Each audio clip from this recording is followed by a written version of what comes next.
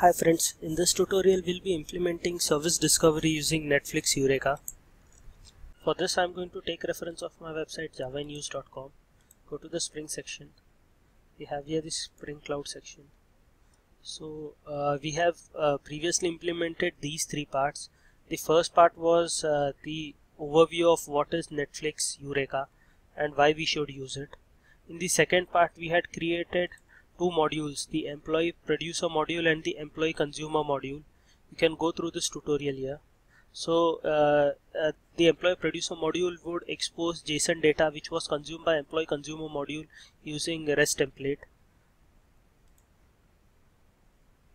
In the third uh, part we had implemented service registration using netflix eureka.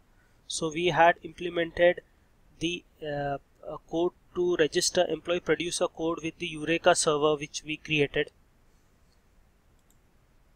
So we had previously created a Eureka server module and uh, we had registered the employee producer module to it. So if we go to the URL localhost colon 8090, we could see that the employee producer module it uh, uh, it was registered to the uh, Eureka server. In this tutorial, what we'll be doing is we'll be using discovery uh, service discovery and we'll be getting the port on which uh, the employee producer module the address of the employee producer module and then we'll be making the rest calls. So previously the employee consumer module would directly call the employee producer module. But the disadvantage of this was that if suppose tomorrow the location of employee producer it changes then even the code in the employee consumer it needed to be changed but now with uh, service registration and service discovery uh, there will be no tight coupling between these codes. We can uh, directly register both the services to Eureka and then uh, using the registry and discovery service we can make the so let's begin with the implementation part. Go to Eclipse. Go to the employee consumer module that we created previously. And here we'll be adding the dependency Spring Cloud uh, starter dependency and also the dependency management which is provided by Netflix.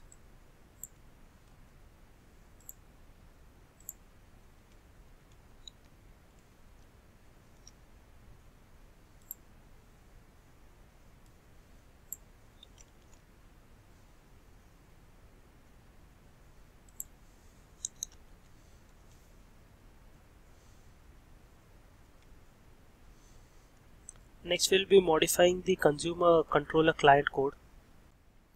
So previously if we'll go to the employee consumer module and we, we could see that uh, here we were uh, using the rest template to consume the employee producer uh, module code. But also uh, we had hard coded the URL for uh, for at which the service had been exposed. So this http localhost uh, colon 8080 uh, this is where the employee producer module was running. So uh, now we'll be making use of the uh, service discovery. So no hard coding would be there. So let's see how this is done. So for this we have we will need to AutoWire discovery client which is provided by Spring Cloud uh, library. And here this is the code. We'll be uh, getting the get using get instances we'll be getting what all instances are uh, registered to the Eureka server. So uh, at the Eureka server, this this has been registered as employee hyphen producer. So we have used this name here. So using this, we get the instance and then once we get this instance since this is a, list we get the zeroth element because we know that only a single uh, service with this name has been registered and then using the service instance we get the URI and we use this as the base URL so copy this part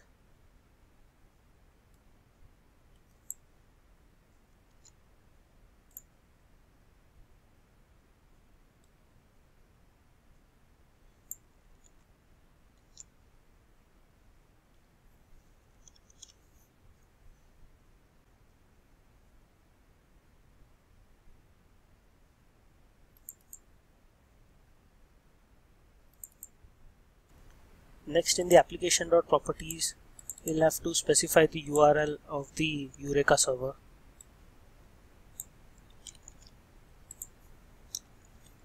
And also we'll be creating one more properties file with the name as bootstrap.properties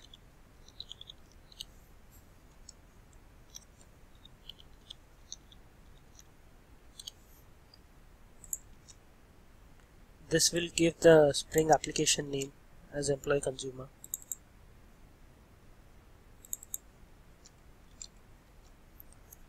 So we have done with all the changes. Now we'll start our application